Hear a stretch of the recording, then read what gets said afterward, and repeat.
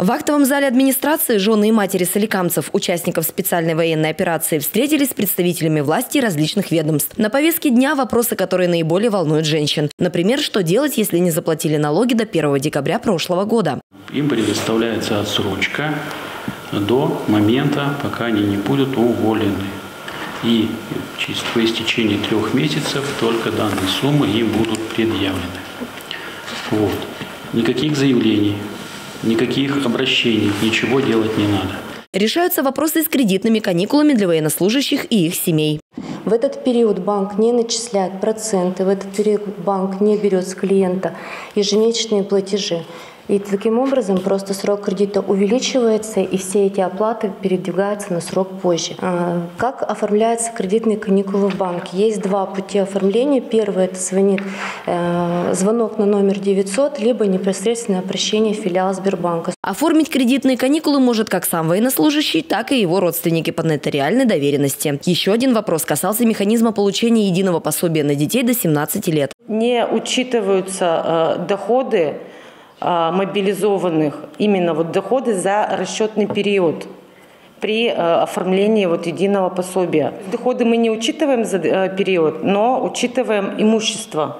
То есть если у мобилизованного или у семьи есть э, два и более имущества, да, превышает, то там, к сожалению, уже будет отказ. Не только материальная, но и духовная, а точнее душевная помощь оказывается семьям военнослужащих в зоне боевых действий. Хотим мы не хотим, но вы находитесь в серьезной стрессовой ситуации.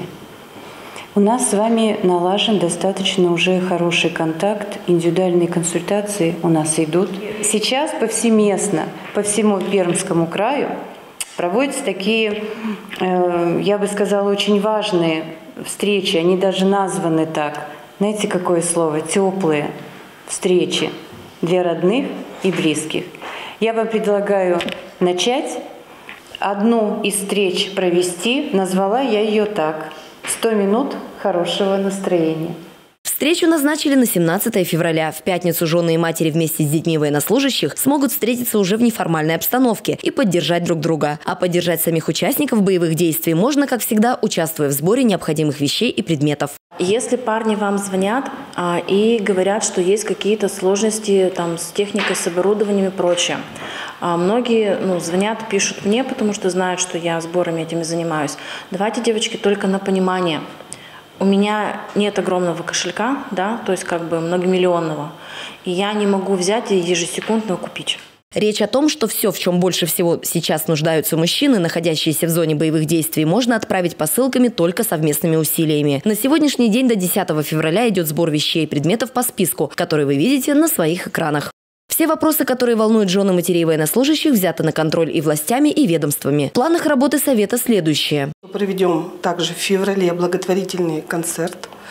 Ну и наши текущие вопросы – это помощь э, нашим э, мобилизованным контрактникам и добровольцам. У нас помощь это осуществляется постоянно. Э, занимаемся сбором, приобретением и передаем, отвозим туда. Очередное заседание Совета жен и матерей было решено провести через месяц. Продолжит следить за развитием событий Олеся Петровичева, Сергей Сюзев и вся телекомпания «Соль ТВ».